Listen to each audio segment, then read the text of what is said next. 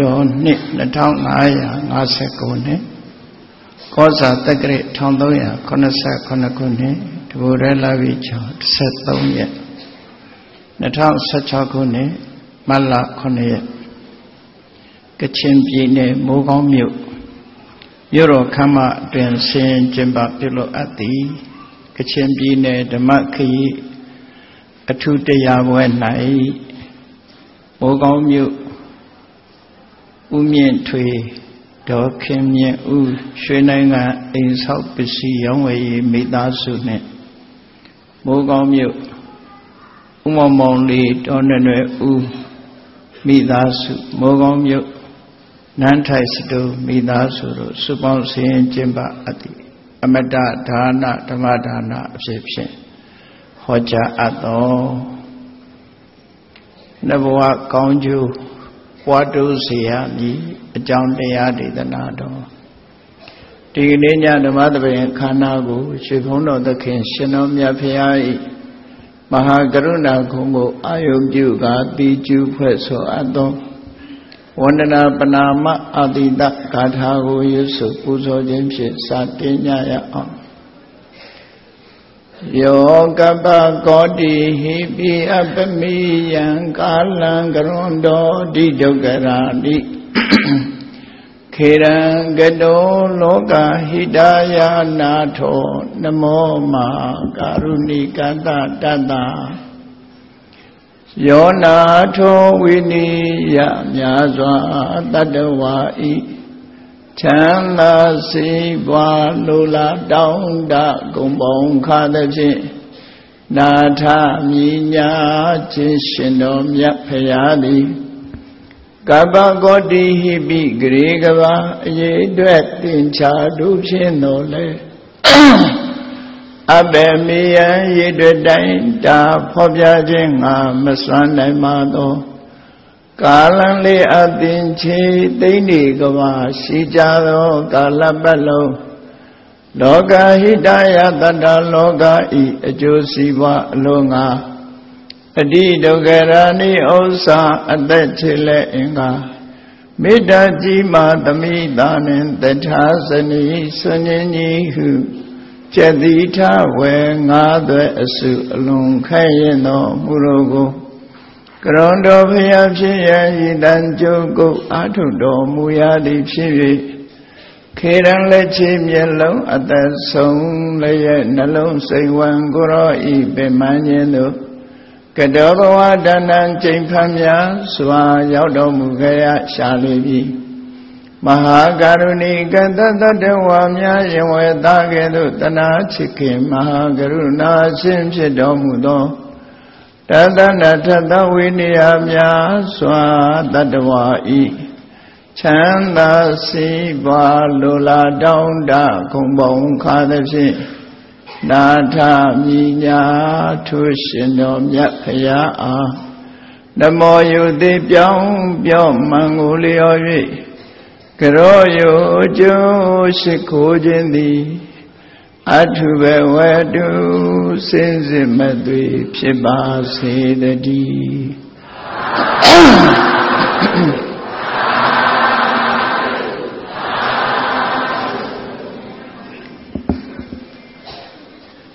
နှစ်ဘဝကောင်းကျိုးပွားတိုးစေရပြဗုဒ္ဓကိုရှုံကြည်ကိုးကွယ်အားထားကြတဲ့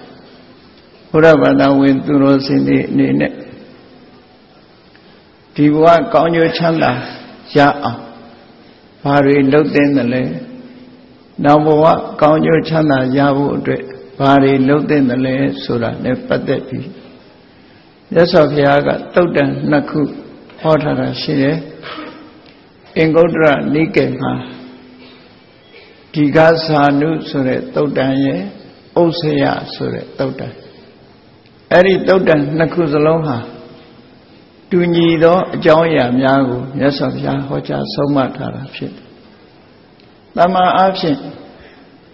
ဘဝတစ်ခုမှာအောင်မြင်ကြီးပွားဖို့ချမ်းသာဖို့ဆိုတာဘာတွေလုပ်ရမယ်ဆိုတာအလွယ်တကူသိနိုင်ဖို့ရခက်ခဲတယ်သို့တော်လည်းလက်ရှိဘဝကောင်းစားရေးအတွက်ဘာလုပ်သင့်လဲဆိုတာသိတဲ့လူကတော်တော်များများရှိတယ် လောကီမှာလောကီပညာတတ်တဲ့ပုဂ္ဂိုလ်တွေလောကမှာရှိကြတဲ့ပညာရှိအများပြားစီးပွားဥစ္စာတိုးတက်ချမ်းသာဖို့အတွက်ဘာလုပ်သင့်လဲဆိုတာတော်သင့်သိကြများတယ်လက်ရှိဘဝရဲ့ကောင်းကျိုးချမ်းသာရဖို့သိကြတော်လဲပဲဤဘဝဤချမ်းမဲ့နောင်ဘဝကောင်းကျိုးချမ်းသာရဖို့ဘာတွေလုပ်ရမလဲဆိုတာကြတော့ လုံးဝသိနိုင်စွာမရှိကြတော့ဘူးအဲ့တော့မြတ်စွာဘုရားကရှင်းလင်းဟောကြားထားတာဒီဘဝမှာကောင်းကျိုးချမ်းသာတွေရဖို့ဘာတွေလုပ်သင့်လဲဘာတွေလုပ်ရမလဲနောက်ဘဝကောင်းကျိုးချမ်းသာရဖို့အတွက်ဘာတွေလုပ်ရမလဲဆိုတာကိုရှင်းရှင်းလင်းလင်းဟောကြားထားတယ်မြတ်ဗုဒ္ဓရဲ့အဆုံးအမတွေနာယူမှတ်သားဖို့လိုအပ်တယ်ရသော်ဘုရားဆုံးမတာ မသိရှိတဲ့ပုဂ္ဂိုလ်တွေလည်းပဲဒီဘဝကောင်းကျိုးချမ်းသာရအောင်ဆောင်ရွက်နိုင်စွမ်းရှိကြနိုင်ငံတကာမှာဖွံ့ဖြိုးတိုးတက်ပြီးချမ်းသာကြွယ်ဝနေတဲ့ပုဂ္ဂိုလ်တွေဟာမြတ်စွာဘုရားဟောတဲ့လမ်းကြောင်းအတိုင်းဆောင်ရွက်နေကြတာသာဖြစ်တယ်နော်သို့တော့ညီမြပင်ပညာရှိရှိနောင်ဘဝဆိုတာကြတော့အမောင်လူကြီးဖုံးနေတာဖြစ်လို့ ဤဘဝကြီးချမ်းမဲ့ဘာဖြစ်မဲ့ဆိုတာလောကလူတွေဟာသိနိုင်စွာမရှိကြဘူးအဲဒီသိနိုင်စွာမရှိတဲ့အချက်ကိုပဲမြတ်စွာဘုရားသခင်ကိုရောမြတ်ကနောင်ဘဝကောင်းကျိုးချမ်းသာရဖို့အတွက်ဘာတွေလုပ်ရမလဲဆိုတာဒီသုတ်တံမှာရှင်းရှင်းကြီးဟောထားတာရှိတယ်ဘုရားဘာသာဝင်သူတော်စင်များအနေနဲ့နိုင်မှတ်သားထားပြီးဒီဘဝကောင်းကျိုးချမ်းသာရဖို့ဒါတွေဒါတွေလုပ်ရမှာဖြစ်တယ်။ နောက်ဘဝကောင်းကျိုးချမ်းသာရဖို့အတွက်ဒါတွေလုပ်ရမှာဖြစ်တယ်ဆိုတာဆောင်ရွက်လောက်ကင်ဆောင်ရွက်နိုင်ကြဖို့ရှေးဦးစွာသင်ယူမှတ်သားကြ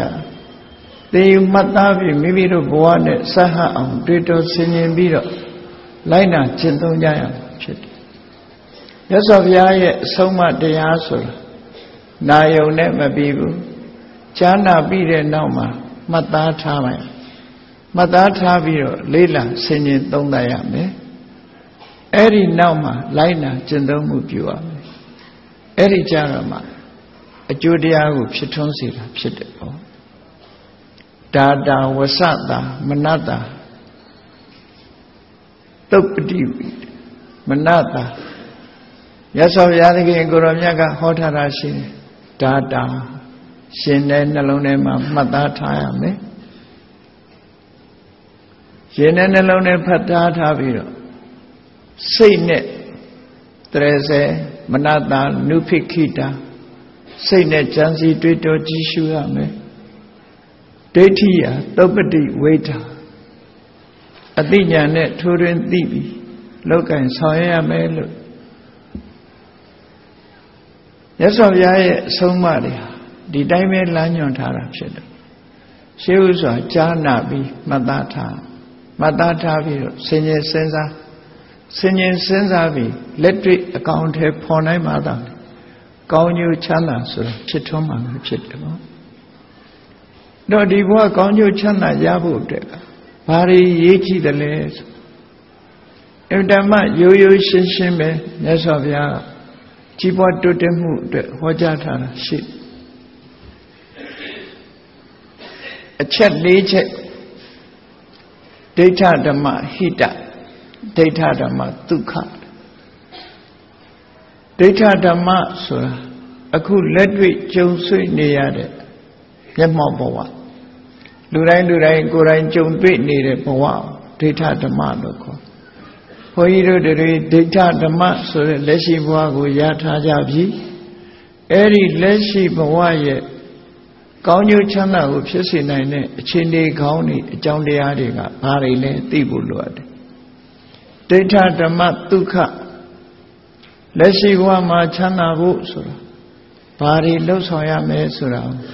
မြတ်စွာဘုရားကရှင်းလင်းဟောကြားတာဖြစ်ပြီစတ္တရောမီပြက္ခပစ္စဒဓမ္မာကုလပုဒ္ဒတဒိဋ္ဌဓမ္မဟိတာယ ဒိဋ္ဌဓမ္မဒုက္ခယသံဝတ္တန္တိဟောဒီအချက်၄ချက်ဟာလက်ရှိဘဝမှာအခြေအနေကောင်းစေတယ်လက်ရှိဘဝမှာချမ်းသာဒုက္ခရစေတယ်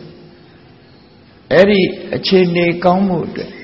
လိုက်နာကျင့်သုံးရမယ်အချက်၄ချက်ကိုမပြတ်မကွက်လိုက်နာကျင့်သုံးပြီဆိုရင်တော့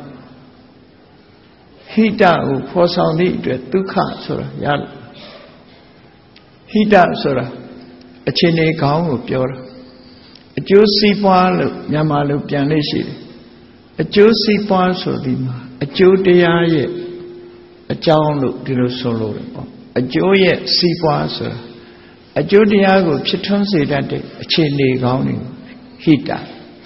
ကြောင့်မို့ဒုက္ခကာရဏဟိတဒုက္ခကာရဏချမ်းသာခြင်း အကြောင်းတရားဟာဟိတဟိတပဲတတဖလံဒုက္ခအဲ့ဒီဟိတရှိမှဒုက္ခဆိုတာဖြစ်လို့ဟိတရဲ့အကျိုးကျေးဇူးကြတော့မှဒုက္ခလို့ဒီလိုစာပေကျမ်းကမှာဟိတနဲ့ဒုက္ခတွဲဖက်ပြီးတော့ဖော်ပြလို့ရှိတယ်ပေါ့အဲ့ဒါကြောင့်ဟိတဆိုဒီမှာအခြေအနေကောင်းတစ်ခုမိမိကိုယ်တိုင်ကလှုပ်ဆောင်ယူရမှာဖြစ်တယ် ဒုက္ခဆိုတာလှုပ်ဆောင်ယူလို့မရဘူးဟိတရှိပြီဆိုရင်ဒုက္ခဆိုတာလာတယ်ဒီလိုဆိုလို့လေဟိတကိုလှုပ်ရမှာဖြစ်တယ်ဟိတကိုလှုပ်မှဒုက္ခဆိုတာရအဲ့တော့ဖះပွင့်တယ်ဆိုတာဟိတဒုက္ခအလုံးကဖះပွင့်တယ်လို့ဆိုကြတဲ့ထင်တယ်ရသော်ဗျာအချိန်လေးကောင်းနေဖြစ်ပေါ်စေတယ်ခြေနေကောင်းနေဖြစ်ပေါ်စေတယ်ဆိုတာဒီလောက်ကလှုပ်တဲ့နဲ့ဒီလောက်ကမလှုပ်တဲ့ဘူး လှုပ်တဲ့နာနဲ့မလှုပ်တဲ့နာခွဲခြားဟောကြားတာခြေနေကောင်းကိုဖြစ်ပေါ်စေအကယ်၍ဒါဖះမပွက်မှုဆိုရင်လှုပ်တဲ့အရာမလှုပ်တဲ့နေရာခွဲခြားမသိဘူးကုသိုလ်နဲ့အကုသိုလ်ခွဲခြားမသိဘူးမသိသည့်အတွက်ကြောင့်လွယ်မှားစွာပြုလုပ်ခြင်းဖြစ်ကောင်းကျိုးချမ်းသာတွေကဆုံးရှုံးပြီးတော့မကောင်းတဲ့ဆင်းရဲဒုက္ခတွေနဲ့ပဲဆုံကြုံကြတာဖြစ်တယ် ကုသိုလ်ထင်ပြီးတော့အကုသိုလ်တွေလုပ်တယ်အကုသိုလ်ထင်ပြီးတော့ကုသိုလ်မလုပ်ဖဲနေတယ်ဆိုတာမျိုးတွေဖြစ်ပေါ်လာအေးမြတ်စွာဘုရားကတော့ရှင်းရှင်းကြီးဟောတာတယ်ဒါကလုပ်ရမယ်ဒါကမလုပ်ရဘူးဒါကဆင်းရဲတဲ့အကျိုးကိုပေးတယ်ဒါကကောင်းကျိုးချမ်းသာကိုပေးတယ်ဆိုတာဆိုင်ရာဆိုင်ရာအကျိုးတွေအတွက်စစ်မှန်တဲ့အကြောင်းတရားတွေရှိနေပြီသားပဲဖြစ်တယ်သို့သော ဉာဏ်မြင်နေနေတဲ့တရားတွေဖို့ဒီဟာအကြောင်းတရားအစစ်မှန်တွေမြင်နိုင်စွမ်းမရှိအဲ့ဒီမြင်နိုင်စွမ်းမရှိတာမြတ်စွာဘုရားဟောကြားဆုံးမတာဘုရားကိုကိုးကွယ်တယ်ဆိုတာလေအဲ့ဒါတွေကိုသိရှိနားလည်ဖို့မြတ်စွာဘုရားရဲ့အဆုံးအမကိုရရှိဖို့ကိုးကွယ်အားထားကြတာဘုရားကိုကိုးကွယ်ခြင်းရဲ့ရည်ရွယ်ချက်အစစ်ကလှုပ်တဲ့နာနဲ့မလှုပ်တဲ့နာသိဖို့ကုသိုလ်အကုသိုလ်သိဖို့ အဲ့ဒါကိုးကွယ်ရခြင်းပဲဖြစ်တယ်ပေါ့ဒါကြောင့်ဘုမြတ်စွာဘုရားဟောတယ်မျက်မှောက်ဘဝမှာအခြေအနေကောင်းနေဖော်ဆောင်နိုင်ပြီးချမ်းသာဒုက္ခကိုဖြစ်ပေါ်စေနိုင်တဲ့အချက်၄ချက်ရှိတယ်တဲ့အဲ့ဒီအချက်၄ချက်ကိုမှတ်သားနိုင်ကြရမယ်လို့ဒီလိုဆိုတော့အဲ့ဒီအချက်၄ချက်ဆိုတာတုတ်တန်နှစ်ခုလုံးမှာမြတ်စွာဘုရား နံပါတ်1ဥဋ္ဌာဏတံပရာဥဋ္ဌာဏဆိုတာအရာရာမှာတက်တက်ကြွကြွလုံလဝိရိယနဲ့ပြည့်စုံတာကိုဆိုလိုတယ်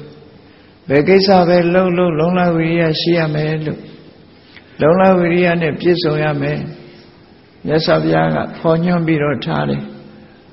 ကိုဘာနဲ့အသက်မွေးဝမ်းကြောင်းလှုပ်တယ်လေကိုအသက်မွေးဝမ်းကြောင်းလှုပ်တဲ့အလုတ်မှန်သမျှကိုဟာ တက်တက်ကြွကြွလှုပ်ဖို့လိုအပ်တယ်ဆိုပါစို့ဖះလက်ထက်ကအသက်မွေးဝမ်းကြောင်းလှုပ်တဲ့အလုတ်တွေနဲ့ပတ်သက်ပြီးဖော်ပြထားတယ်ယတိကတိယာထွန်ရဲ့စိုက်ပျိုးတဲ့အလုတ်နဲ့အသက်မွေးတာလားယတိဝါနိစ္စယကုံရောင်းဝယ်ကုံတဲ့အနေနဲ့အသက်မွေးတာလားဘာနဲ့အသက်မွေးတယ်လဲကိုယ်အသက်မွေးဝမ်းကြောင်းဟာဘာနဲ့အသက်မွေးတယ်လဲ ယတိအိတ္တတိနာနော်ရှေခိကဒီ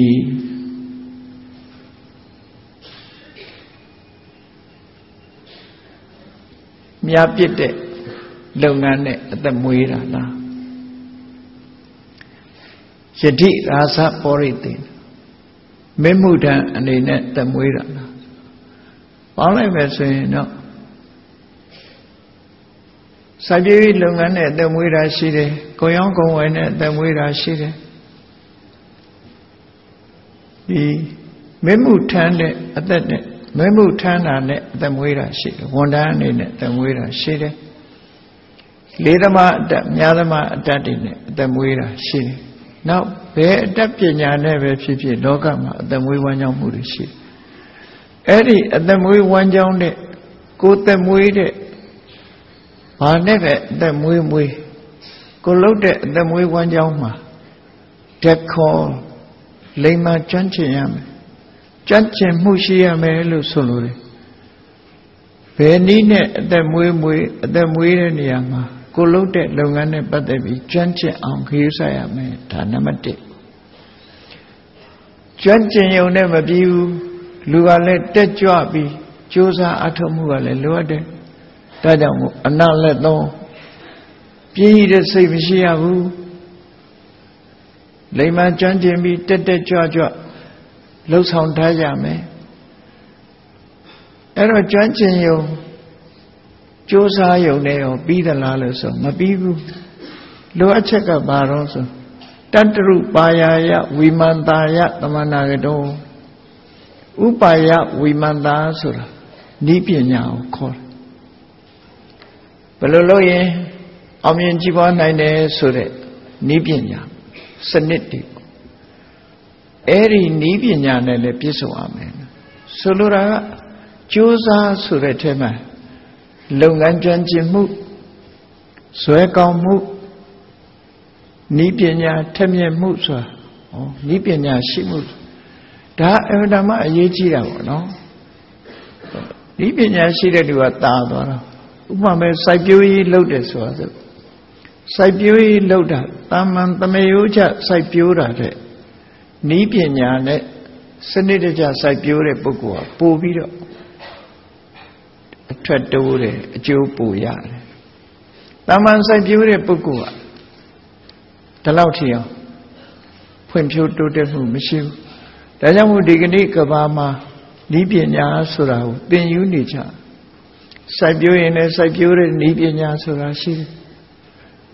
အဲ့တော့ဤပညာလည်းရှိရမယ်လုပ်ငန်းကြံ့ကျင်မှုလည်းရှိရမယ်ဇွဲကောင်းမှုလည်းရှိရအဲ့ဒီလိုလုပ်လှုပ်တိုင်းတော့ကြိုးစားပြီမဲ့လို့ကြိုးစားတာဒီကြံ့ကျင်မှုတွေဇွဲကောင်းမှုတွေဤပညာတွေနဲ့ပံ့ပိုးမှအောင်မြင်ကြည်ပွားနိုင်တယ်အဲ့တော့ဘယ်နိုင်ငံပဲဖြစ်ဖြစ် ကြိုးစားလောက်ကဆောင်ရွက်တဲ့နေရာနိပညာတာတဲ့နိုင်ငံကပို့ပြီးတော့ဖွံ့ဖြိုးသွားအဲ့တော့နိပညာဆိုတာသိအရေးကြီးတယ်ဆိုတော့တတ္တရုပါယာယဝိမန္တာယသမဏဥပါယဝိမန္တာနိလန်းကိုဆင်ញင်သုံးသပ်နိုင်မှုအဲ့ဒီနိပညာကိုရအောင်ကြိုးစားအထောက်ပါဘယ်လုပ်ငန်းပဲဖြစ်ဖြစ် လုပ်တဲ့ဤစနစ်တွေရှိတယ်အဲ့ဒီစနစ်နဲ့ကြိုးစားအထောက်ရမယ်လို့သူတို့ဆိုဒါကြီးပွားတိုးတက်ခြင်းအကြောင်းတစ်ခုဒါရင်ပြီးလာတော့ဆိုပြီးသေးဘူးလူအလုံးမကျွမ်းကျင်တယ်ဆိုတဲ့နေရာမှာအလံကာတုံအလံတန်ဝိထာတုံကိုယ်တိုင်လုံနိုင်စွမ်းလည်းရှိရမယ်စီမံခန့်ခွဲနိုင်စွမ်းလည်းရှိရ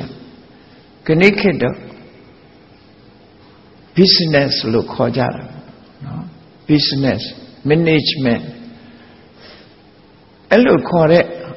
ဘယ်ကိစ္စပဲဖြစ်ဖြစ်သူက management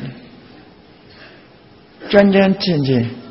စီမံဆောင်ရွက်နိုင်တယ်ဒီတန်ဝိဒါနဆိုတာဒီကနေ့ခေတ်စကားလုံးနဲ့ပြောမယ်ဆိုရင် project ပေါ့စီမံချက်လို့ဆိုအဲ့ဒီ project လို့ခေါ်တယ်စီမံချထားတဲ့ဟာတခု အလံကာတုံကိုယ်တိုင်လည်းလုံနိုင်စွမ်းရှိတယ်ကိုကိုယ်တိုင်ကလုံနိုင်စွမ်းရှိတယ်ဆိုတာကိုကိုယ်တိုင်တတ်သိနားလဲတယ်အလံတန်ဝိတာတုဘယ်လိုလုပ်ရမလဲဆိုတော့စီမံခွဲခြားနိုင်စွာရှိရဟောဒီပညာတွေကဒီကနေ့ခေတ်မှာဆိုပို့ပြီးတော့ကျေပြန့်လာသို့တော့အံ့ဩဖို့ကောင်းတာတော့လွန်ခဲ့တဲ့နှစ်ပေါင်း2600ကမြတ်စွာဘုရားဒီစကားကိုဒီတရားကိုဟောကြားခဲ့တာ ဒီကနေ့ခေတ်မှာပြောမယ်ဆိုရင်ခေတ်လူတွေကဒီကနေ့မှတိုးတက်လာတယ်လို့ထင်ဟုတ်ဘူးနိုင်ငံခြားအနည်းပညာတွေမပေါ်ခင်တည်းကမြတ်စွာဘုရားကတက်ခလိမ္မာကျွမ်းလုပ်ငန်းကျွမ်းကျင်ရမယ်ဆိုတာပြောတယ်ဥပါယဝိမန္တာနည်းပညာရှိရမယ်ဆိုတာပြောတယ်အလံကာတုံလံတံဝိတ္တစီမံခန့်ခွဲနိုင်စွမ်းရှိရမယ်ဆိုတာတွေပြောတယ်တော့မြတ်စွာဘုရားပြောမယ်ဆိုရင်တော့ မော်ရန်ဖြစ်တယ်လို့ပြောမြတ်စွာဘုရားရဲ့အဆုံးအမတွေဟာဒီကနေ့ခေတ်ရှေ့ပြေးနေတယ်လို့ပဲပြောဒီကနေ့ခေတ်ကတော့လက်ရှိအခြေအနေမှသူကခက်မိတယ်တိုးတက်တယ်လို့ထင်နေကြတယ်သို့တော့ခက်မိတိုးတက်မှုတွေကိုလိုလားရင်မြတ်စွာဘုရားရဲ့အဆုံးအမစကားတွေကိုမှတ်သားနိုင်ယူကြည့်ပါမြတ်စွာဘုရားရဲ့စကားတော်တွေဟာခက်မိနေတဲ့အရာတွေသာဖြစ်တယ် ခစ်ကြိုက်တဲ့ပုဂ္ဂိုလ်တွေအတွက် modernize ဖြစ်ဆုံးဟာမြတ်မြတ်စွာဘုရားရဲ့အဆုံးအမတရား up to date ဖြစ်တဲ့ပေါ့ date အောက်သွားတယ်လို့မရှိဘူးကြည့်လောကမှာအောင်မြင်ကြီးပွားမဲ့ပုဂ္ဂိုလ်တွေအတွက်ဥထာဏတမ္ပရာလုံလဝိရိယနဲ့ပြည့်စုံရမယ်ဆိုတဲ့စကားမှာကြိုးစားတိုင်းရသလားဆိုဘယ်ရမလဲမလို့အောင်လုပ်ငန်းကျွမ်းကျင်မှုရှိရမယ်ကြိုးစားရုံနဲ့မရဘူးလုပ်ငန်းကျွမ်းကျင်ရမယ်ဟော ဥပါယဝိမန္တာဤပညာကောင်းရမယ်အလံကတုံလံတံဝိတ္တတုံကိုယ်တိုင်လုံနိုင်စွာရှိစီမံခန့်ခွဲတတ်ရမယ်လို့ဆိုအဲ့ဒါတွေခြုံရင်းသွားလို့ကတော့အောင်မြင်မှာမဟုတ်ဘူး project လို့ခေါ်တယ်စီမံကိန်းတစ်ခုမှာအဲ့ဒီအချက်တွေကအမှန်တမ်းအရေးကြီးတယ်ဆိုတာကြားလိုက်ရတဲ့ပုဂ္ဂိုလ်တွေဟာတန်တော်ဖြစ်เสียရမယ်ဘုန်းကြီးတို့ဂျာမနီသွားပြီးဗိဓမာသင်္นานပို့ချတော့က ဂျာမန်ကြီးတယောက်ကမေးခွန်းမေးတယ်ခဏိခေဖြစ်ပေါ်နေတဲ့ကလုံးဆိုတာပေါ့ဒီကိုဘွားတွေဖန်တီးလာလူလဲလူပုံလူတွေဖန်တီးလာဆဲလေးတွေကိုယူပြီးတော့ကလုံးဆိုတာလောက်ထူးထူးဆန်းဆန်းဒီလူတွေကလည်းကြံစည်နေကြတာအဲ့ဒါသူကဘာမေးလဲလို့ဆို ဗုဒ္ဓရဲ့တရားတော်အရကလုံးဆိုတာလက်ခံနိုင်သလားတဲ့သူကပြောတာသူမေးတာကလုံးကိုလက်ခံနိုင်သလားဟာလက်ခံနိုင်ပါတယ်လို့ဖြစ်နိုင်တယ်လို့ကလုံးဆိုတာတန်သေးတစပဲလို့နော်လူတွေရဲ့တဏ္ဍမှာရှိတဲ့ဆဲလေးအဲ့ဒါကိုယူပြီးတော့ရွတ်ပွားတာမြတ်စွာဘုရားလက်ထက်ကတန်သေးတစလို့ခေါ်တယ် 950ဇတ်ထဲမှာမဟာဗဒုမဇတ်ကိုကြည့်လိုက်မယ်ဆိုလို့ရှိရင်ဗဒုမဝတိဆိုတဲ့မိဖုရားကမွေးတာမဟာဗဒုမမင်းသားတူးတဲ့ပဲဝေးလဲသို့တော့မွေးဖွားတဲ့အချိန်မှာသွေးအညီတွေပေါ်မှာမိတီးပြီးတော့499ယောက်မွေးဖွားတာနဲတဲ့ကလုံးကိုပွားတွေမဟုတ်ဘူး ဘုရမဒေဝီရိုးရိုးမွေးတာကတူးတဲ့ရဲ့သို့တော့ဘုရမမင်းသားကဲ့သို့ထတ်တူညီမြညီတွေမွေးဖွားလိုက်တာတပြိုင်နဲ့900မွေးတယ်လို့ဆိုတာဘယ်တော့မှလည်းကြာဘူးတာမရှိဘူးခုခေတ်လူတွေဆိုရင်ယုံကြည်တောင်ယုံကြည်ချင်မှချင်ဘာလို့လဲဖြစ်နိုင်ဘူးလို့ထင်ကောင်းထင်သို့တော့ဖြစ်ခဲ့တာတော့တေချာတယ်လို့ဒီကနေ့ခေတ်ကဒါထောက်ခံလာကလုံးဆိုတာဖြစ်ပြီဆိုလို့ရှိရင် ဘဒုဝဒေဝီကသား900ဖွားတယ်ဆိုတာဖြစ်နိုင်တယ်ဘာလို့လို့ဆိုသွေးအညီပေါ်မှာတန်သေးတစဆိုတဲ့တရေတီးပြီးတော့မွေးဖွားခြင်းလားဖြစ်တယ်ပေါ့အဲ့ဒီလိုမွေးဖွားတာအဲ့ဒါနဲ့ဆက်ပြီးတော့ရသော်ဘုရားဟာဘလောက်ရှေ့ပြေးနေတယ်လဲဒီကနေ့ခေတ်စေပညာရက်ကတောင်မသိသေးတဲ့အချက်တွေသိတာတောင်အပြည့်စုံမသိသေးတဲ့အချက်စေပညာထဲမှာဒီ ခေတ်မီတက်ပညာလို့ဆိုတယ် embryology ဆိုတာရှိအဲ့ဒီ embryology နဲ့ပတ်သက်ပြီးတော့လူရဲ့ဘဝလူသားရဲ့ဘဝဟာဘယ်လိုစတင်ပြီးတော့ဘယ်လိုကြီးထွားလာတယ်ဆိုတာကိုမြတ်စွာဘုရားလွန်ခဲ့တဲ့နှစ်ပေါင်း2600ကျော်တဲ့ပထမံကလလံဟောတိကလလံဟောတိအဘုဒံအဘုဒံဇာတိပေတိပေတိနိဗ္ဗတတိခနောဆိုပြီး ယက္ခတန်ယုတ်အိန္ဒကသုတ်တံမှာမြတ်စွာဘုရားဟောတာအဲ့ဒါကလုံးနဲ့ပတ်သက်ပြီးတော့ပြောလိုက်တာမြတ်စွာဘုရားကလူဘွားဟာဘလို့မွေးဖွားလာတယ်ဆိုတာကိုမြတ်စွာဘုရားဟောထားတာရှိတယ်လို့ embryology လို့ခေါ်တဲ့ပညာရပ်တစ်ခုမိခင်ရဲ့ဝမ်းထဲမှာစပန်းနဲ့အိုပန်းဟာဆွိုင်းသဘောမျိုးပဲမြေသဘောပဲစပန်းရဲ့ စပန်းနဲ့ဆွိုင်းကိုအမိပြုတ်ပြီးတော့တရေတီတာအဲ့ဒီစပန်းနဲ့ဒီအိုပန်းကိုအမိပြုတ်ပြီးတော့တရေတီလာအဲ့ဒီတရေကလလရေကြီးလို့ဆိုတဲ့တရေတီလာရနေနောက်တစ်ပတ်ကြာတဲ့အခါကျပထမံကလလံဟောတိကလလံဟောတိအပုရံဆိုအမြုပ်ကလေးတွေဖြစ်လာဟောဒီကနေ့ခေတ် embryology ကြည့်မယ်ဆိုရင်လည်းအဲ့တိုင်းပဲတွေ့ရ ပုံဖော်ကြည့်တဲ့အခါအဲ့တိုင်းပထမအလွန်သေးတဲ့အဆက်အပြောက်ကလေးအဲ့ဒီနောက်မှာအမြုပ်ကလေးတွေပွားလာအမြုပ်ကလေးတွေပွားလာတဲ့အခါကျတားတစ်လေးလိုဖြစ်လာနော်အပုဒံဇာတိပေတိသားရစ်ဆိုတာတစ်ကလေးဆိုတာဘယ်လိုဟာခေါ်တာတော့ဆိုရင်ငရုတ်သီးငရုတ်သီးကိုကြိတ်ပြီးတော့အရင်လေးကိုစစ်ယူပြီးနေဘူးလှမ်းလိုက်တဲ့အခါမှာအဲ့ဒီအရေးလေးက ခြောက်သွားတဲ့အခါမှာရဲရဲလေးနော်အရေးလေးကအခဲလေးဖြစ်လာတယ်လို့ပဲအဲ့ဒါလို့ဖြစ်လာအဘုဒ္ဓဇာတိပေတိပေတိနိဗ္ဗတတိခနောအဲ့ဒီကနေအလုံးခဲဖြစ်လာတပတ်တစ်ခါတပတ်တစ်ခါပြောင်းလဲသွားတဲ့သဘောတွေကိုမြတ်စွာဘုရားဟောတယ်ဆိုသူကအဲ့ဒါတကယ်ဘုရားဟောထားတာရှိသလားအေးရှိတယ်လို့မင်းမယုံလို့ရှိရင်အဲ့ဒီတန်ယုတ်ပါဠိတော်ရက်ခတန်ယုတ် အိန္ဒကတုတ်ကိုကြည့်ကြည့်ဆိုသူတန်အံတော်ဖြစ်တယ်ဒါတွေမကဘူး embryology မှာသဘင်ပဲချိန်ပေါက်တယ်နော်လူရဲ့ခန္ဓာကိုယ်မှာသဘင်တွေမှုင်းညင်းတွေဘယ်ချိန်ပေါက်တယ်မိခင်ဝမ်းထဲမှာဆိုတာအတိအကျခေါ်ထားတာမရှိဘူးသို့တော့မြတ်စွာဘုရားဟောကြားတဲ့ဒီသနာတော်ကိုမိညမ်းပြီးရေးထားတဲ့အထက်ကထာတွေမှာတည်တည်ချာချာရေးထားတာ ဒီကနေ့ embryology နောက်ပိုင်းသိလာတာ ਨੇ တိုက်ဆိုင်လိုက်တဲ့အခါကျတော့အလုံးကိုထပ်တူညီမျှနိစ္စစွာတွေ့ရှိရတယ်လို့ဆရာဝန်တယောက်ကပြောပြတာကြားလိုက်ရပေါ့အဲ့တော့မြတ်စွာဘုရားရဲ့အဆုံးအမစကားတွေကဆိုလိုတာကမြတ်စွာဘုရားဟာဘယ်ခေတ်ဘယ်ကာလမှာဖြစ်ဖြစ်ဖြစ်လူသားတွေရှိနေသမျှကာလပတ်လုံးမြတ်စွာဘုရားဟောတဲ့တရားတွေဟာဒိတ်အောင်သွားတယ်လို့မရှိဘူး လက်တွေ့လိုက်နာကျင့်သုံးပြီးအကောင်းထဲဖော်မယ်ဆိုရင်ကောင်းကျိုးချမ်းသာတွေရမှာပဲဆိုတာကိုတည်တည်ချာချာဆုံးဖြတ်နိုင်ဖို့ပဲအဲ့တော့မြတ်စွာဘုရားဥဋ္ဌာဏတမ္ပရာစီးပွားလုပ်ပြီးဆိုရင်ကြိုးစားစီးပွားလုပ်တာပဲဖြစ်ဖြစ်နော်အလုပ်လုပ်တာပဲဖြစ်ဖြစ်ကြိုးစားအထုတ်ကြိုးစားအထုတ်တဲ့အခါမှာဤပညာတို့နော်လုပ်ငန်းကြံ့ကျင်မှုတို့စီမံခန့်ခွဲနိုင်မှုတို့ဆိုတဲ့ ပညာရက်တွေအလွန်အရေးကြီးတယ်လို့ဆိုဘုန်းကြီးတို့မြန်မာနိုင်ငံသူနိုင်ငံသားတွေဟာတိုးတက်ကြီးပွားခြင်းလို့ရှိရင်အဲ့ဒီဤပညာဆိုတာကိုနောက်မကျအောင်သင်ကြားရမှာဖြစ်တယ်ဒီတိုင်းလုံနေလို့ကတော့နောက်ကျသွားမှာပဲဖြစ်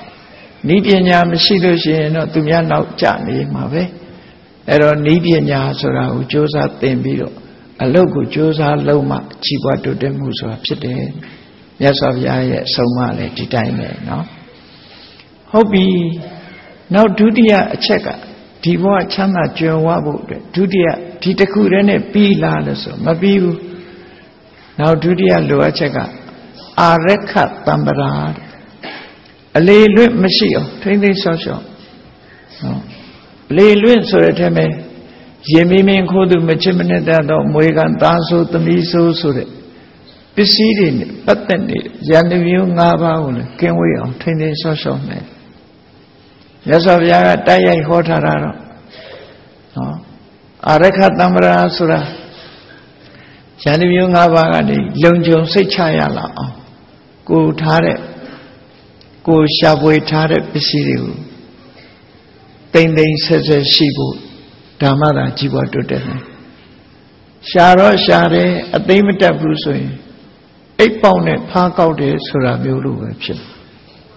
ရှာသမျှတွေအကုန်လုံးယိုကျပျက်စီးဒါကြောင့်မို့စီးပွားတစ်ခုလုပ်ပြီဆိုရင်ယိုပေါက်ကိုအရင်ပိတ်ဖို့ရသော်ဘုရားကိုယ်တိုင်ကလည်းဒီယိုပေါက်ကြီး6မျိုးဆိုပြီးတော့သုဒ္ဓံတစ်ခုမှာဟောတာရှိတယ်အဲ့ရိုးပေါက်ကြီးတွေဟာပြင်းရတာတို့ဘာတော့အဲ့ရိုးပေါက်ပဲစီးပွားဥစ္စာတွေမတိုးတက်ခြင်းအကြောင်းဟောနောက်တစ်ခုက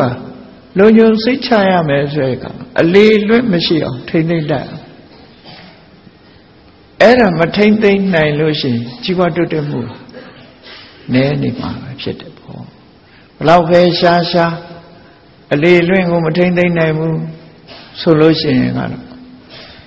ကိုရှာသမျှတွေဟာဒီဆုံးရှုံးပျက်စီးမှုနဲ့ကြုံရပြီးတိုးတက်တဲ့လောက်မတိုးတက်နိုင်ဘူးဒါကြောင့်မို့ခဏခေတ်မှာရောက်တဲ့အခါကျတော့ ပစ္စည်းတွေအလေလွင့်မရှိအောင်ထိမ့်သိမ်းဆောက်ရှောက်တဲ့ဤစနစ်တွေဟာလည်းထပ်တိုးပြီးတော့ပေါ်လာပြန်တယ်ပေါ့စိုက်ပျိုးထားတဲ့တိဏ္ဍန်တွေဘလို့ထိမ့်သိမ်းရမယ်ဆိုတဲ့ဤပညာတွေ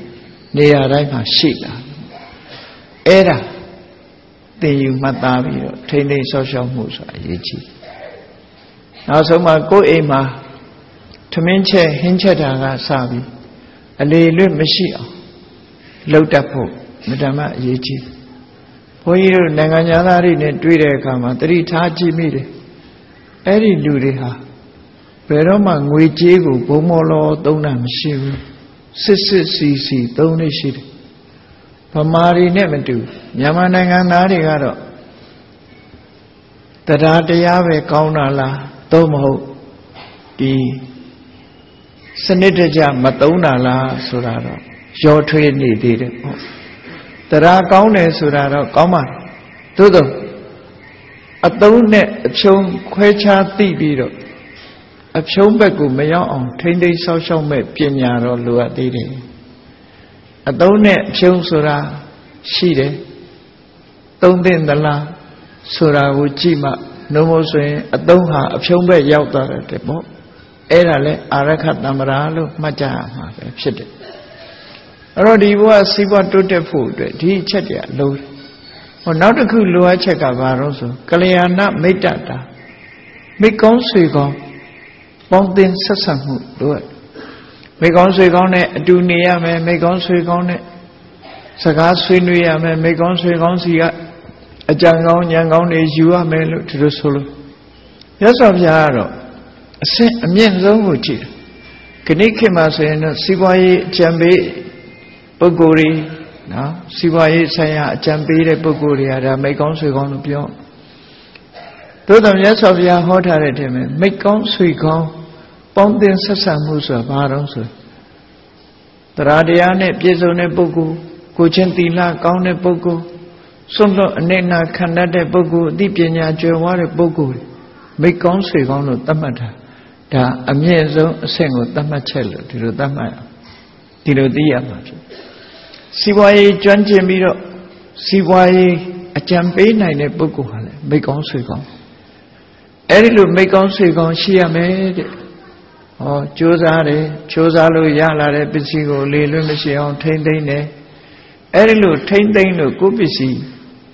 ရရှိပြီးကြွယ်ဝချမ်းသာနေပြီဆိုတဲ့အချိန်မှာနော်ကိုကျင့်တရားပြက်ပြားသွားလို့ရှင်စီးပွားဆိုပျက်စီးသွားတယ်ဒါကြောင့်မို့မိတ်ကောင်းဆွေကောင်းရှိရမယ်ဆိုတာဒါထိမ့်ပေးဖို့ မိတ်ကောင်းဆွေကောင်းရှိရမယ်အေးနောက်တစ်ခုလိုအပ်ချက်ကတော့အမတမအရေးကြီးတဲ့ဂဏိက economics ပြောတဲ့စီးပွားပညာမြတ်စွာဘုရားကတမဇီဝိတာတမဇီဝိတာဆိုတာမြတ်မြတ်တာတာသုံးဆွဲတတ်ရမယ်လို့ဆိုလိုတယ်။သက်မွေးဝမ်းကြောင်းမြတ်မြတ်တာတာသုံးဆွဲတတ်အဲ့ဒါအရေးကြီးဆုံးပဲ။ ကိုရှာထားလို့ရထားတဲ့ပစ္စည်းနေ့စဉ်နဲ့အလုံးလုံးနေကြရတယ်။ဆိုလိုတာကဝင်ငွေနဲ့ထွက်ငွေဘတ်ဂျက်ပေါ့နော်။ကိုရှာလို့ရတဲ့ငွေပမာဏနေ့စဉ်သုံးနေတဲ့ပမာဏဒီနှစ်ခုအဝင်အထွက်ကိုထိန်းညှိဖို့လိုအပ်တယ်လို့ဆိုသမစီဝိတာဆိုဝင်ငွေကနည်းနည်းသုံးတာကများများမွဲသွားမယ်နော် ဝင်ငွေကများများမသုံးဘူးဆိုလို့ရှိရင်အဲ့ဒီလိုကစီကုတ်နေလို့ရှိရင်လည်းစင်စင်ရဲဖြစ်မှာမြတ်စွာဘုရားကပစ္စည်းဥစ္စာဆိုတာဝင်ငွေထွက်ငွေမြတ်မြတ်တာတာသုံးအောင်ကိုကိုယ့်ရဲ့အတိုင်းအတာတစ်ခုအရာဆိုလိုတာကတိတ်ပြီးတော့လဲဝင်ငွေတွေရှိနေလို့ရှိရင်ဝင်ငွေပေါ်မှာထွက်ငွေကပိုမသွားအောင်လုပ်ရမယ်ဒီလိုဆိုလို့တယ်ထွက်ငွေကပိုမသွားအောင် သို့တော့မသုံးမဲလည်းမနေရဘူးပစ္စည်းဆိုတာအသုံးပြုဖို့ထားရတာဖြစ်တယ်ပေါ့မြတ်စွာဘုရားကစနစ်တကျသုံးဆွဲဖို့အတွက်ဆုံးမဩဝါဒပေးတယ်လောကမှာနေစဉ်နဲ့အမျှအလုံးလုံးပြီးတော့ပစ္စည်းရှာကြတယ်ငွေကြေးတနာတွေရအောင်ရှာကြတယ်အဲ့ဒါတွေကိုဘယ်လိုအသုံးချမလဲမြတ်စွာဘုရားကအတ္တနံဒုခေတိပိနေတိ ကိုကိုကိုချမ်းသာအောင်နေပါတဲ့ရတဲ့ငွေကြေးတနာနဲ့နော်မစားရမတော့ရမလုပ်ပါနဲ့ကိုကိုကိုချမ်းသာအောင်နေမာတာပိတရောဒုခေတိပိနေတိကိုချမ်းသာအောင်နေပြီးရင်နောက်ထပ်ကြည်အောင်ကိုယ့်ရဲ့ခြေဆုရှင်ဖြစ်တဲ့အမေဖေတွေကိုချမ်းသာအောင်ထားဒါနဲ့တင်လုံလောက်လားမလုံလောက်သေးဘူးညတ်တပြီးတော့သုံးဖို့ရတယ်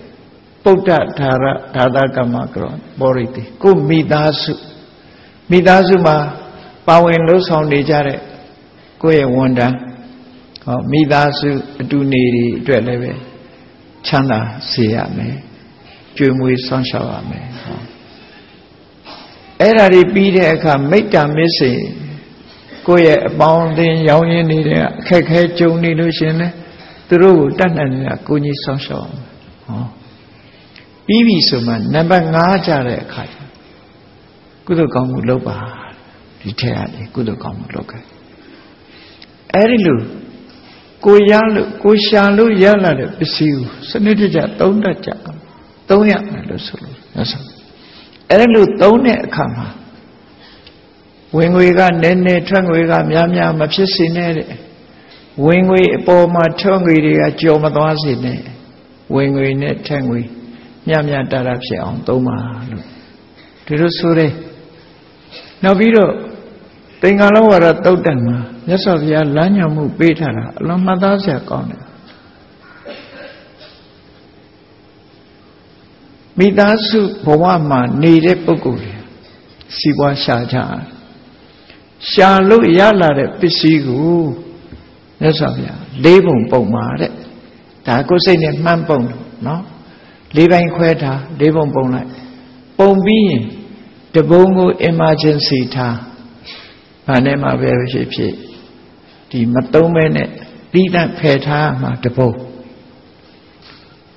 နောက်တစ်ပုံကတော့နေ့စဉ်စားတဲ့ထဲမှာအသုံးပြုဆိုဟောသူကလေးပုံတစ်ပုံပဲသုံးခိုင်းတဲ့သဘောပေါ့နော်နောက်တစ်ပုံက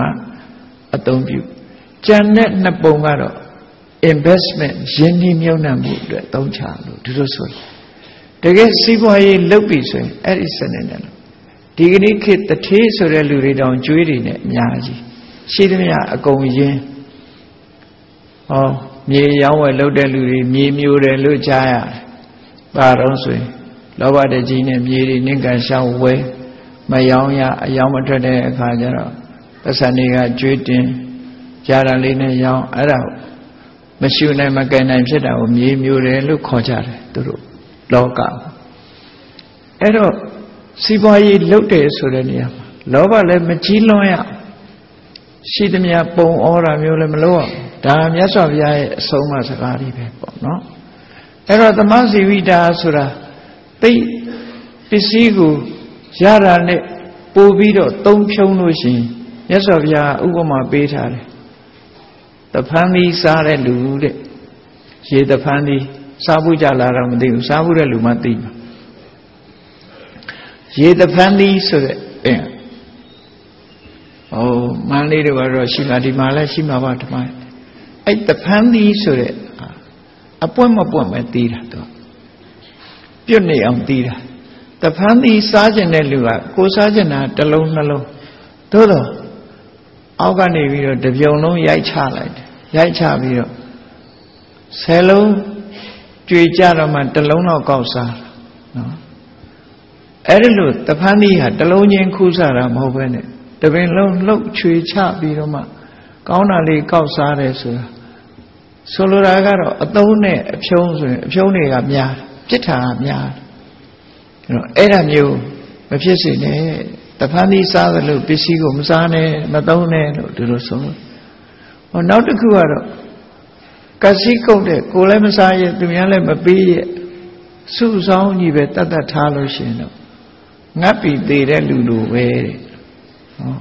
ဝါအောင်မစားလို့ငတ်သေးတဲ့လူလိုလည်းမဖြစ်စေနဲ့လို့ဆိုလို့အဲ့ဒါကိုတမစီဝိတာလို့မြတ်စွာဘုရားဟောအဲ့တော့ပေါင်းလိုက်တဲ့အခါကျတော့ဥဋ္ဌာဏတမ္မရာလုံလဝိရိယနဲ့ပြည့်စုံရမယ်အာရခတမ္မရာထိမ့်သိမ်းဆောက်ရှောက်မှုနဲ့ပြည့်စုံရမယ်ကလျာဏမိတ်တတာကိုချင်းတရားကောင်းတဲ့မိကောင်းဆွေကောင်းတဲ့ပြည့်စုံရမယ်တမစီဝိတာ ဝင်ငွေထွက်ငွေမြတ်မြတ်တတာသုံးဆွဲတတ်ရမယ်ဆိုရယ်ဒီအချက်လေးချက်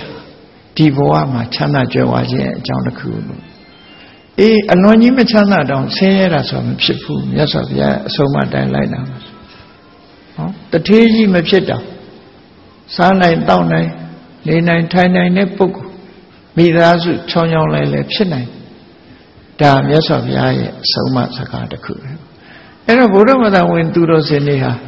ဖះကိုကိုးွယ်ထားပြီးတော့ဖះအဆုံးအမကိုမသိဘူး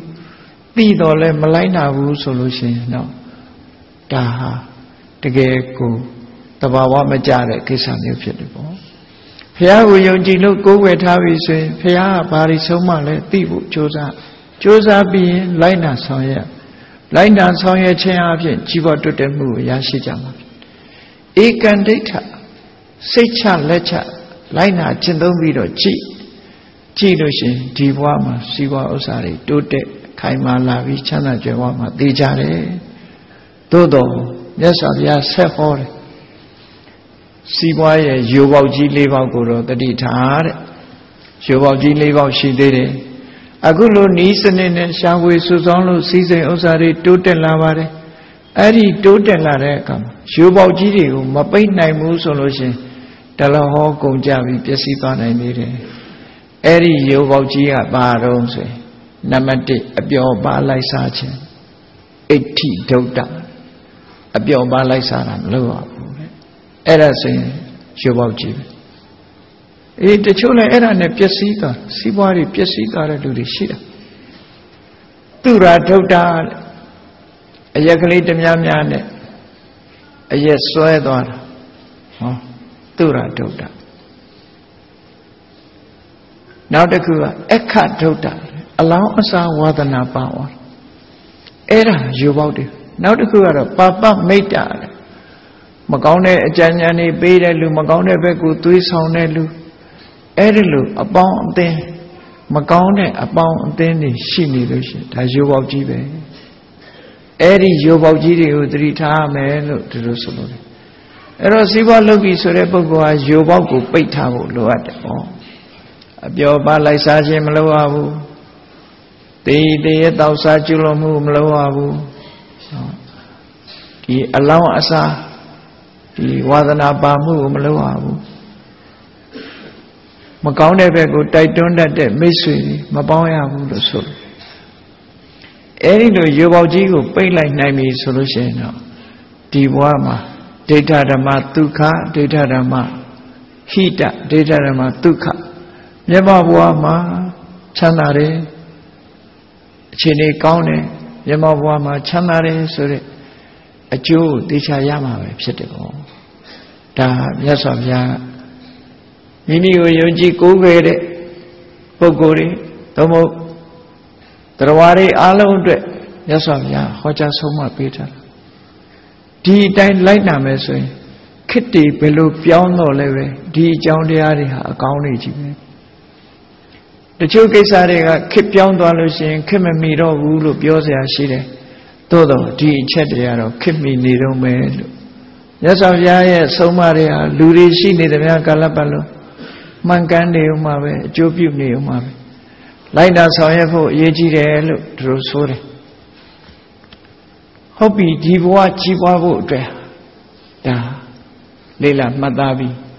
မိမိတို့ကိုယ်တိုင်လည်းပဲဖြည့်ဆွက်နားလဲလို့ရတယ်ဘယ်လိုလုပ်ရင်ကြည်ပွားမယ်ဆိုတာနော်ကဲနောက်ဘဝကြည်ပွားဖို့အတွက်ကြဘာတွေလုပ်ရဘုန်းကြီးတို့တွေဒီဘဝမှာဒီလိုကြီးပဲနေကြမှာမဟုတ်ဘူးတနေ့နဲ့တနေ့အသက်အရွယ်တွေကကြီးလာကြကြီးလာကြတယ် လူဘဝဆိုတာ7နှစ်7နှစ်နဲ့ကြီးလိုက်မယ်ဆိုတနှစ်သားကနေပြီးတော့10နှစ်သားအထိအောင်မန္တထတကစိတ်တက်ကလည်းနုနေတယ်ရုပ်ကလည်းနုနေတယ်ကလေးတငယ်ဘဝမန္တထတကအေး17နှစ်ကနေပြီးတော့အသက်20ထိအောင်ကြတော့အပျော်အပါအပေါင်းအသင်းမဝါသနာပါတယ် ကစားဖို့ပျော်ဖို့ပါဖို့ဝါသနာပါတယ်ခိတ္တာထတကလို့ခေါ်တယ်ဆယ်စုတစ်နှစ်ပေါ့အဲ့ဒီလူတွေဖြတ်တန်းလာခဲ့တာလူတိုင်းလူတိုင်းဟာဒီဒီဆယ်စုဆယ်စုကိုဖြတ်တန်းသွားမှာပဲဖြစ်တယ်ပေါ့ကလေးငယ်ဘဝကမန္တတတကကိုဖြတ်တန်းခဲ့ပြီး17နှစ်ရောက်တာနဲ့အသက်20ထိအောင်ခိတ္တာတတကအပျော်ပါကစားမဲ့တာဒီဘက်ကိုဖြတ်တန်းလာ 21နှစ်ကနေပြီးတော့30ထိအောင်ဝဏတတကလူတွေဟာထော်တော်ကြမ်းကြမ်းနဲ့အသားရည်ပြည့်ဖြိုးလို့အလှတိုးတဲ့အရွယ်အဲ့ဒီအချိန်အလှဆုံးအရွယ်တွေလို့ဆိုအောင်ဝဏတတကအေး40 30အဲ21ကနေ30အထိ31ကနေ40အထိကျတော့ခွန်အားဗလာတွေပြေဝလာလို့ဗလတတကလို့ခေါ်တယ် အဲ့ဒီအချိန်မှာလူတွေကလုံနိုင်ကိုင်းနိုင်နေမမောမပန်းသွားလိုက်လာလိုက်လူလို့ကြဒါက41ကနေ50အဲ့ဒီ10နှစ်ကျတော့အုံနောက်ကစဉ်းစားလာပညာဓာတကလို့ခေါ်တယ်အရာရာစဉ်းစားဆင်ခြင်လာအဲ့မှာလူဟာတည်ငြိမ်မှုတွေရစဉ်းစားဆင်ခြင်မှုတွေနဲ့တည်ငြိမ်မှုတွေရအဲ့ဒီထီအောင်လူဘဝဖွံ့ဖြိုးတိုးတက်တဲ့အပိုင်းလို့ပြောအောင်နော် အဲ့ဒါဒီတိုင်းမဲ့ရက်နေမှာလားနောက်ဆုံးဖွံ့ဖြိုးတိုးတက်မှုအသိပညာကျွယ်ဝတဲ့အဆင့်ထိရောက်တာ51ကနေ60ဆိုတဲ့10နှစ်ကြာတော့ဘာဖြစ်လဲအစစရရရော့ကြလာအင်းအားလည်းရော့လာမျက်စိကလည်းမွဲလာနော်တဖြည်းဖြည်းရော့လာ51က60ရော့လာစိတ်ဓာတ်ကလည်းရော့လာအရင်ကလို့တက်တက်ကြွကြွလုံးဝမယ့်ကိစ္စတွေ ဆယ်ခုတခုမလုံးချင်တော့တဖြည်းဖြည်းစိတ်ဓာတ်တွေရော့ကြလာအဲ့ဒါကိုဟာနိတတကလို့ခေါ်တယ်ရော့လာတဲ့အပိုင်းပဲအဲ့တော့လူဘဝကြီးကဒီတိုင်းပဲနော်လူနေတဲ့အချိန်လေးက10နှစ်ပဲရှိတယ်အဲ့ဒီကနေပြီးတော့လာလိုက်တာ51ကနေ60ဆိုဟာနိတတကရောကြသွားပြီရှစ်တိုးဖို့မရှိတော့ဘူးအေး61ကနေ80ထိအောင်ကြတော့ ပပ္ပရဓာတကကိုင်းတိုင်းကိုင်းတိုင်းဖြစ်လာပြီလမ်းသွားရင်လည်းရိုင်တိုင်ရိုင်တိုင်လေးဖြစ်လာအဲ့ချာလူတွေဟာကြည့်ရိုင်တိုင်ရိုင်တိုင်လေးဖြစ်လာနောက်81ကနေ80ရောက်တဲ့အခါကျဝင်ကတတကကုန်းလာခါမကုန်းရင်လက်ပြင်အကုန်းလာနော်ကုန်းလာတယ်ဖိုးကြီးစင်းရင်ဝင်လာအဲ့ဒီကနေပြီးတော့81ကနေ90ကျတော့မောမှုဟတတကမေ့လာ သမင်းစားပြီးတယ်မစားသေးဘူးထင်ချင်းထင်တယ်နော်ဟိုနေရာလေးဟိုပစ္စည်းလေးထားမေ့ဘယ်ထားမိမှမသိဘူးရှာလို့မရကိုကကိုပြဿနာတွေမျိုးစုံတက်တယ်ကိုထားတာသူများခိုးသွားတယ်လို့ထင်လို့ထင်အဲ့ဒါမောမှုဟာတသကလို့သူတို့ခေါ်တယ်အဲ့ဒီလိုဘဝခရီးကအခုလိုဖြတ်တန်းလာကြတာနော်ဖြတ်တန်းလာကြအဲ့လိုဖြတ်တန်းလာတဲ့ဘဝတွေ ဒီနောက်ဆုံးကြတော့အိပ်ရတယ်ဘုံဘုံလဲတဲ့အဆင့်ရောက်သွားတော့ပေါ့ဟုတ်ပြီအိပ်ရတယ်ဘုံဘုံလဲပြီးဒီတိုင်းပဲအိပ်ပြီးနေမှလားလို့ဆိုမဟုတ်ဘူးသေဆုံးသွားအောင်မှရှိသေးတယ်ကဲသေဆုံးတာရဲ့နောက်ဘာလို့อ่ะဤဘဝရဲ့အခြားမဲ့နောက်ဘဝဆိုတာတချို့ဘာသာတွေကတော့နောက်ဘဝဆိုတာမရှိဘူးလို့ပြောတဲ့လူတွေရှိမယုံတဲ့လူတွေလည်းရှိ နောက်ဘဝမရှိတဲ့ဘာသာတွေလည်းရှိတယ်ဘုရားဘာသာတို့ဟိန္ဒူဘာသာတို့တိဘက်တန်တို့ဒါတွေကတော့နောင်ဘဝဆိုတာလက်ခံတဏှာကိုလက်ခံထားတယ်ဟိန္ဒူအစ္စင်နော်တိဘက်တန်ကသူကဝစီရယာနာလို့ခေါ်တယ်တိဘက်တန်ဗုဒ္ဓဇင်ကနောင်ဘဝရှိမြန်မာပြည်ဗုဒ္ဓဘာသာတွေနောင်ဘဝဆိုတာယုံကြည်ကြ မြတ်စွာဘုရားကတံပရာယိကတမလဘဝမှာဖြစ်တဲ့အရာတန်တရာနဲ့ကံနဲ့တန်တရာနဲ့ဘဝကိုယုံကြည်ထားဟုတ်ပြီအခုတိုင်းသွားမယ်ဘဝဆိုတာနော်51ကနေ60ဟာနိအဲ့ဒီကနေရောကြသွားမယ်ဒီကြားထဲသိခြင်းလဲသိပြီပေါ့သိပြီးရင်ပြန်ဖြစ်လေအဲ့ဒီပြန်ဖြစ်တဲ့အခါမှာအကောင်းဖြစ်ဖို့လိုလား လူတွေဟာသေသည်အချမ်းမဲ့ဘာဖြစ်မလဲဆိုတာမသိသည့်အတွက်ကြောင့်ကြောက်စိတ်တွေပိုကြဆိုရင်စိတ်တွေရှိကြတယ်ဒါမို့သေရမှာကြောက်တယ်ဆိုတာအဲ့ဒါနောင်ဘဝစိတ်မချရင်ပို့ပြီးတော့သေရမှာကြောက်တယ်စိတ်ချတဲ့လူကသေရမှာမကြောက်ဘူးအေးအဲ့ဒီမှာနောင်ဘဝအတွက်ဘာတွေလုပ်ထားမလဲဒီဘဝဒါလည်းမြတ်စွာဘုရားဟောတာရှိတယ်နော် နောင်ဘဝအတွက်စိတ်ချခြင်းသလားဒီဘဝမှာတော့ကိုယ့်ကိုယ်သိတယ်လေဒီဘဝမှာမိသားစုနဲ့နေတဲ့ပုဂ္ဂိုလ်ဟာအာကိုးစရာသားသမီးတွေရှိတယ်ဆွေတွေမျိုးတွေရှိတယ်ကိုရှားထားတဲ့ပစ္စည်းဥစ္စာတွေရှိတယ်အိမ်နေရာတွေရှိတယ်ကိုပိုင်တာတွေနဲ့ဒီဘဝအတွက်ကတော့ကိုယ်ကစိတ်ချရပြည့်စုံတယ်လုံလောက်တယ်နော်ပေတိဤအချမဲ့ဘာဖြစ်မလဲ အဲကြရင်အခုဘဝရှာထားတဲ့ပစ္စည်းတွေကလည်းတပြားမှကိုယ်နဲ့ယူလို့ရတာမဟုတ်ဘူးကုန်ထားခဲ့ရကိုပိုင်ဆိုင်သမျှအကုန်ထားခဲ့ရနောက်ဆုံးဝတ်ထားတဲ့အဝတ်တောင်မှချွတ်ယူလိုက်အောင်ပါအကုန်ထားခဲ့ရသွားတော့လေကိုတယောက်တည်းသွားမှာဘယ်သူမှလိုက်ပို့မှာမဟုတ်ဘူးပို့တယ်ဆိုတာအဝါကြီးကိုပို့တာနော်အတူတူကမင်းတယောက်တည်းပြင်းနေမယ်ငါဖော်လိုက်ခဲ့ပါမယ်ဆိုဘယ်သူမှလိုက်မှာမဟုတ်ဘူးနော် သွားလို့လဲလိုက်လို့လည်းမရဘူးလေချစ်လာပါတယ်ဆိုတော့သာသမီကလည်းမလိုက်ဘူးအားလုံးဟာသွားတော့လာတော့ကလည်းတယောက်တည်းပြန်တော့လည်းတယောက်တည်းနော်အေးကောင်းပြီတယောက်တည်းဆိုတဲ့အချိန်ဟာအဖော်မဲ့တဲ့အချိန်အဲ့ဒီလိုအဖော်မဲ့လို့နောက်ဘဝသွားရတော့မယ်ဆိုတဲ့အချိန်မှာဘာအားကိုးကြမလဲဘာရှိရမြတ်စွာဘုရားကစတ္တရောမေ ဓမ္မာကုလဗုဒ္ဓတာတံပရာယအဟိတာယတံပရာယဒုက္ခယတံဝတန္တိအေးစိတ်မပူနဲ့ဟောဒီအချက်၄ချက်တရား၄မျိုးမင်းတို့ရင်တွဲမှာရောက်အောင်လုပ်ထားအဲ့ဒါအာကိုးစရာကြီးပဲဘာမှစိတ်မပူနဲ့တမလွန်ဘဝကောင်းရသူတိရောက်ဖို့ရစိတ်ချအဲ့ဒီ၄ခုကိုကြွတင်ပြီးတော့လှုပ်ထားမယ်တဲ့နောက်ဘဝအတွက် ဒီဘဝအတွက်က၄ချက်လှုပ်ပြီးပြီနော်ကြိုးစားတယ်ရှားတယ်ကြိုးစားရှားတယ်အလေးလည်းမရှိအောင်ထိန်းသိမ်းဆောက်ရှောက်တယ်မိကောင်းဆွေကောင်းတွေနဲ့နေတယ်နော်မြတ်မြတ်တာတာသုံးဆွဲတယ်ဆိုတာတွေနဲ့ကိုယ်မှာစားနိုင်တောင်းနိုင်မပူမပင်မကြောက်မကြနေရအေးသေးသည်ချမယ်ကိုတယောက်တည်းသွားမှာကိုတယောက်တည်းသွားလို့လန်ခရီးဖြောင်းဖြောင်းနဲ့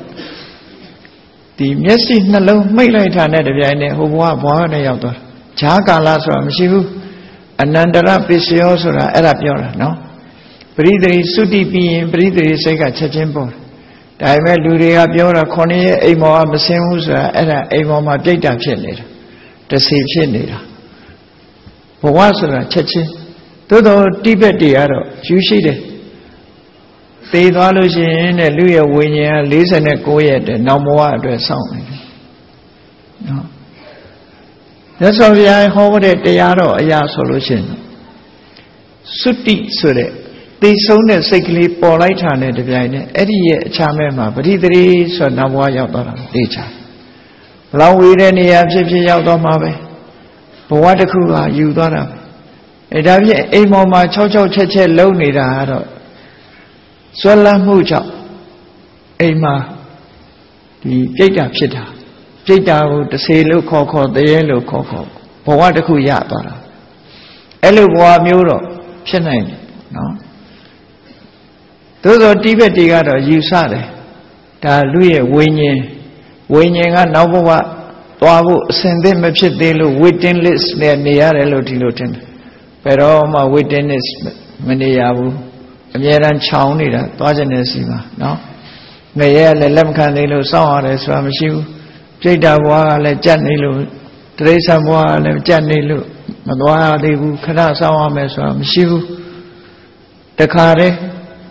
အဝိဇ္ဇာရဲ့တဏှာရဲ့အဝိဇ္ဇာကဖုံးကွယ်လိုက်လို့တဏှာကသဘောကျလိုက်တာနဲ့တပြိုင်နက်ကံကနေတွန်းပို့လိုက်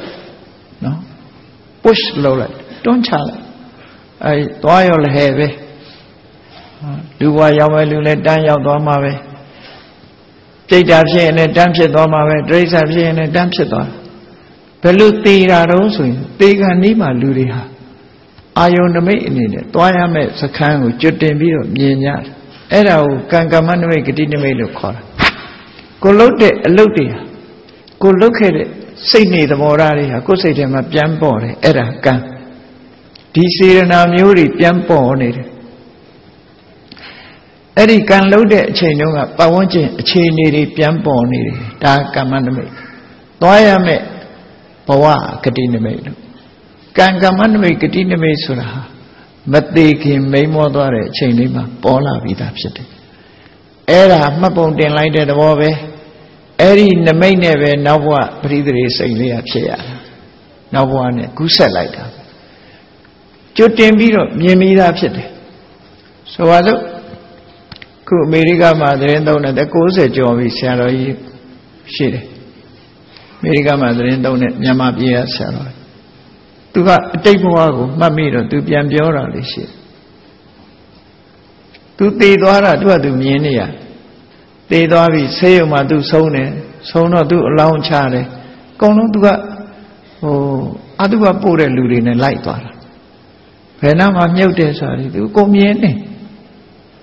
အဲ့ဒီလိုအတုပချပြီးတော့သူတောထဲမှာတယောက်တည်းထိုင်နေရတယောက်တည်းထိုင်နေတဲ့အချိန်မှာမြင်းမြူကြီးစီးပြီးတော့လူကြီးတယောက်ကသူ့နာမည်ခေါ်လိုက်တယ်တဲ့ခေါ်လိုက်တာနဲ့သူလှမ်းကြည့်လိုက်တော့အဲ့လူရမင်းငါနဲ့လိုက်ခဲ့လို့လှမ်းခေါ်တာနဲ့သူထလိုက်သွားတောကြီးပြင်မဲ့လည်းရောက်ရောသူနေခဲ့တဲ့သူ့ရွာသူ့အိမ်ကိုလှမ်းမြင်ဟာတာတို့ရွာပဲဆိုအဲ့ကြမှာသူတို့ရွာ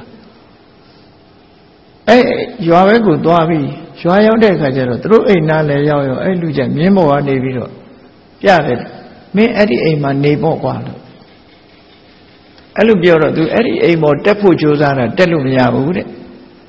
တက်လို့မရတော့ဟိုလူကြီးကြည့်နေပြီ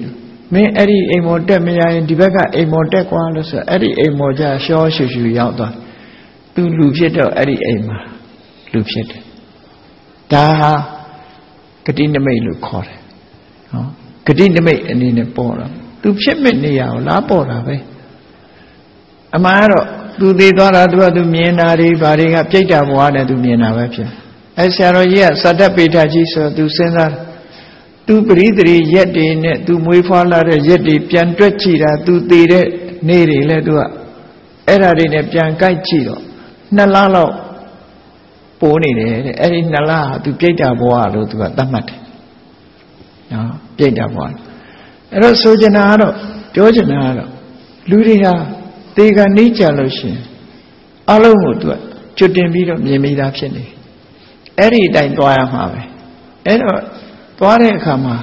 နေရာကောင်းနဲ့တွေးဖို့ဆိုတာကျွတ်တင်လောက်ရမယ့်ကိစ္စတွေကဘာတွေတုံးဆိုလို့ရှိရင်တတ္တာတဲ့သီလစာကပညာ တရားတရားရှိဖို့လိုတယ်တရားတရားဆိုဒီမှာမြတ်စွာဘုရားရဲ့အတိညာဉ်ကိုယုံကြည်တာကိုတရားလို့ခေါ်တယ်မြတ်စွာဘုရားရဲ့အသိဉာဏ်ကိုယုံကြည်မှဘုရားရဲ့အဆုံးအမကိုလိုက်နာမှာပေါ့ဒီလိုအသိဉာဏ်ရှိတဲ့ပုဂ္ဂိုလ်ဆုံးမထားတဲ့စကားဟာမမှားဘူးငါလိုက်နာရမယ်ဆိုပြီးတော့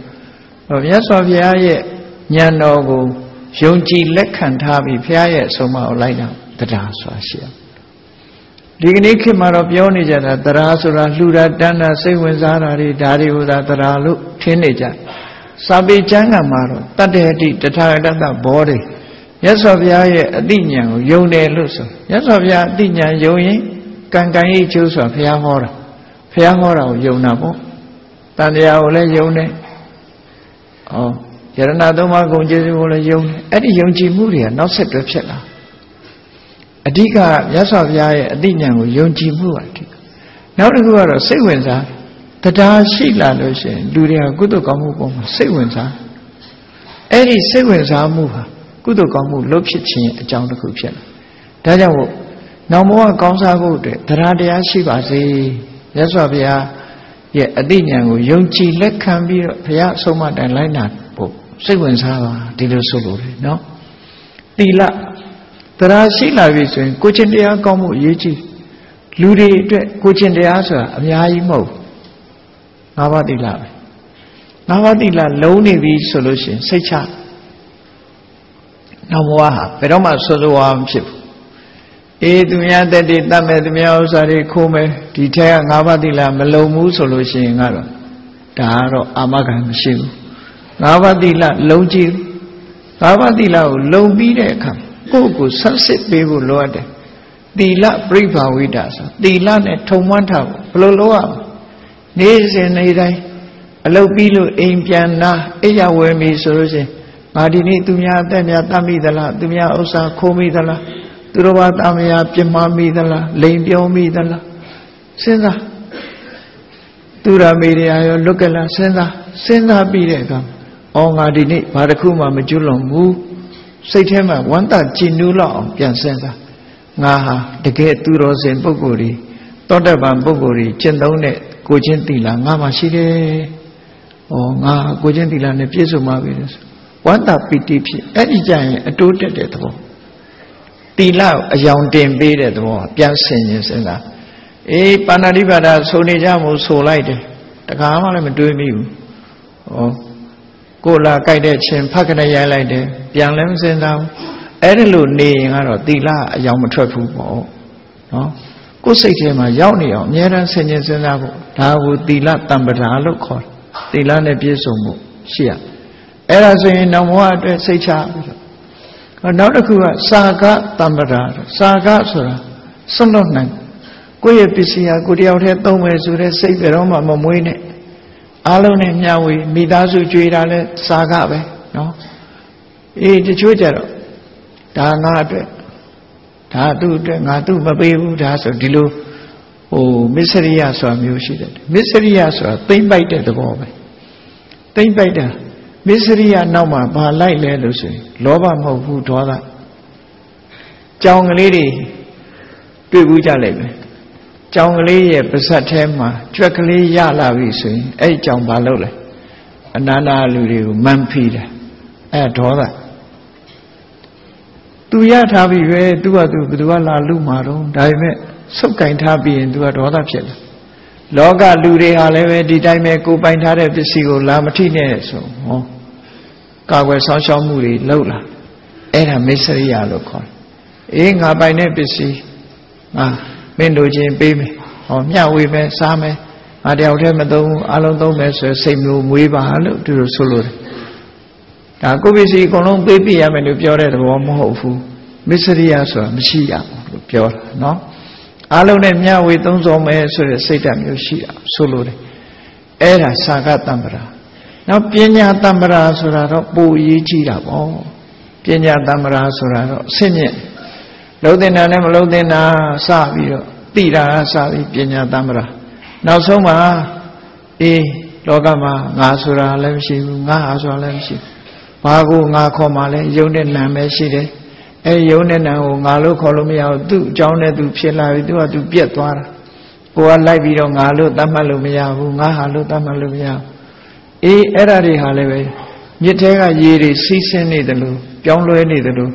ဒီခန္ဓာကိုယ်ကြီးမှရှိတဲ့ယုတ်တရားနံတရားတွေဟာလည်းပြောင်းလဲနေတယ်ဖြစ်ပြီးတော့ပြက်နေတယ်ဒါတဖြည်းဖြည်းအိုမင်းလာတယ်နောက်ဆုံးသိဆုံးသွားမယ်ဆိုမတည်မြဲတဲ့သဘောတရားတွေကိုဆင်ញင်စဉ်းစားပြီးသိမြင်နိုင်တဲ့ဉာဏ်မျိုးရှင်းတန်တော့ဝိပဿနာတရားချင်းချင်ကျုပ်ကိုအထုတ်ပါလို့ဒီလိုဆိုအဲဒီလိုဝိပဿနာတရားအထုတ်ထားလို့ရှင်လူဟာကိုယ့်ကိုတွေ့တာမှုတွေတို့သူများကိုတွေ့တာမှုတွေတို့ဆွလန်းမှုတွေတို့ရှော့ချ ရှော့ချပြီးသားဖြစ်တော့နောက်ဆုံးမှာလုံးဝမပင်နိုင်သေးနဲ့ယောပါတော့အဲ့ဒီလိုယောပါသွားလို့ရှိရင်တောကဆိုတာလေယောပါသွားစိတ်နှလုံးအေးချမ်းမှုနဲ့ဘဝခရီးကိုဖြတ်တန်းနိုင်တာဖြစ်တယ်ဒါကြောင့်မို့နောက်ဘဝအတွက်အရေးကြီးတဲ့ဟာတစ်ခုပါတတ္တတမ္ပရာတရားတရားနဲ့ပြည့်စုံမှုကြိုးစားထားရမယ်သီလတမ္ပရာသီလနဲ့ပြည့်စုံအောင်ကြိုးစားထားရမယ်စာကတမ္ပရာဆွလွတ်ခြင်း နဲ့ပြည့်စုံအောင်ကြိုးစားထားမယ်ပညာသမရာအသိပညာဆင်ញင်တို့တရားနဲ့ပြည့်စုံအောင်ကြိုးစားထားအဲ့ဒီ၄မျိုးသာကိုယ်တဏ္ဍာမှာပြည့်နေပြီဆိုလို့ရှိရင်နောက်ဘဝကြောက်စရာမလိုတော့ဘူးဘယ်ဘဝရောက်ရောက်ရောက်တဲ့ဘဝဟာကောင်းတဲ့ဘဝဖြစ်ပြီးတော့ဩနော်ချမ်းသာဒုက္ခတွေရမှာပဲဘဝခရီးဟာဒီတဲ့အရှင်ပြေတဲ့ဘဝမျိုးကိုရောက်တော့မှာပဲလို့ဆိုပြီးတော့မြတ်စွာဘုရားသခင်ကိုရောမြတ်ကတံပရာယဟိတ တံပရာယိကဟိတတံပရာယိကဒုက္ခနောက်ဘဝမှာဖြစ်ဖို့အတွက်ဟိတဒုက္ခပဲဒီတရားလေးမျိုးဟာဒါကြောင့်မို့ဒီလိုကြိုးစားအထောက်ရမယ်လို့ဒီလိုဟောခဲ့တာဖြစ်ပါတယ်တရားချစ်ခင်သူတော်စင်ပြိဿပေါင်းတို့ဒီဘဝကြီးဘဝတိုးတက်ဖို့ရာအတွက်အခြားနိလန်းနေနဲ့ကြိုးစားအထောက်လို့ရှင်လေဒီဘဝမှာကြီးဘဝတိုးတက်နိုင်တာပဲသို့သောနောင်ဘဝအတွက်စိတ်ချရအောင်တတ္တာတိလစာကပညာဆိုတဲ့ဒီတရားတွေ ကိုယ်တဏ္ဍာမှာမရှိသေးလို့ရှင်ရှိအောင်ကြိုးစားဖို့ရှိပြီးလို့ရှင်တိုးတက်ပွားများလာအောင်လုပ်ဖို့အရေးကြီးတယ်ဆိုတာကိုစီကိုစီနှလုံးထားပြီးမိမိတို့ဘဝကောင်းစား၍အတွက်ကြိုးစားအထောက်နိုင်ကြပါစေကုန်သတည်း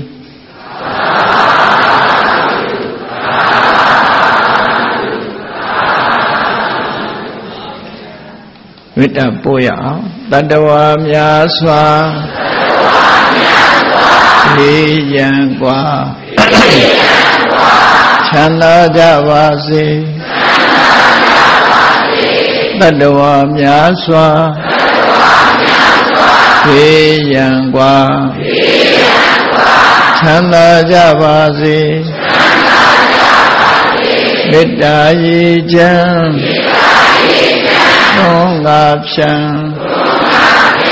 ငြိမ်းချမ်းကြပါစေ မေတ္တာရည်ချမ်းသုံးငါဖြံငြိမ်းချမ်းကြပါစေသက်ရှိချမ်းမာစိတ်ချမ်းသာတို့ရဆန္ဒပြည့်ပါစေသက်ရှိကျမ်းမာစိတ်ချမ်းသာ တို့ရဆန္ဒပြည့်ပါစေဘုံလန္တာဒုက္ခပင်ကစားမေတ္တာပုံနေတုသင်္ကမမနောတရာတိတဗ္ဗေတံဘဝယံတုဒုက္ခနကမေတ္တာပုံနေတုသင်္ကမစုပေါင်းပုတ်အမေတ္တာတဟုရောင်မြူပဝင်းငွေလာမင်းနှင့်ရောင်ကြီးရှဲယုံပေါင်းဆောင်ရခြင်းကြောင့် တဗ္ဗေတံကျင်းမဲ့ဥတုံလုံးစုံများစွာတတ္တဝါတို့၏မနောတရတိမြမြဖြူစင်အေးကြည်လင်းသည့်ရေစဉ်ပြည့်တင်းစိတ်နှလုံးတည်ဟုသောရေအိုင်ကြီးအတွင်၌ဒုက္ခပင်ကစားစင်ထာဝရအေးမြကြည်သာတာယာပွင့်လန်းချမ်းသာဒုက္ခအဓိဟုသော ကုမုဒ္ဒရာကြာပန်တို့သည်ဖုံးလန္တဝန္တာရွှင်မြူဝမုံလူလျက်ကြည်နုဝဲကြုံဖူးပွင့်ကြကုန်သည်ဖြစ်၍ သူကနကလေအောင်လေတဲ့ရောရှက်သင်ပြန်ပိတိတိဟုသောယနန်တို့သည်ဘဝယံတုကောင်းစွာမဲ့သည်ကြိုင်လိုက်၍နေကြပါစေကုန်တည်း